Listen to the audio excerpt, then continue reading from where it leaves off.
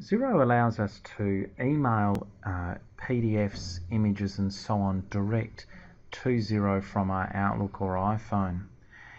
To find out the email address that to use, if you go up to the folder in the top right, you will see that Xero brings up an email address here.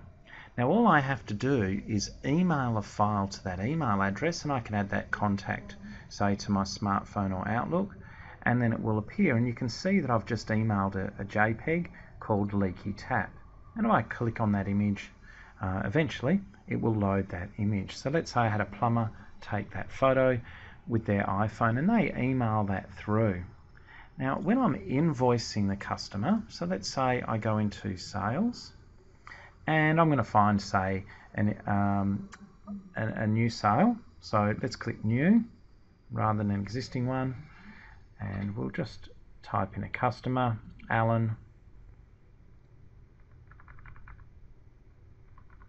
So I'll just put here some plumbing work, let's say $110 to sales.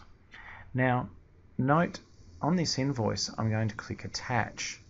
Now if I scroll down, rather than uploading it directly, because I emailed it to that Xero account, it's now sitting here to attach. So I'm going to add that file.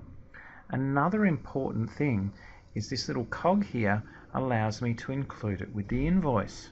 So by choosing include with invoice there, so I, have now chosen include with invoice, I'll just close that and hit approve.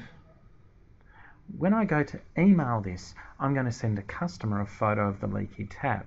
So I'll click on email to send Alan the invoice and notice down the bottom it's included the file leaky tap. So that customer is going to get, I'd also include a PDF of the invoice and I'll make it an attachment but they will get that JPEG. So again all we had to do and I'll send it was get the email address from Xero email the JPEG or whatever from our smartphone to that email account and then attach that file. Notice now that I've used that file, it's disappeared from my inbox because it's been attached to that invoice.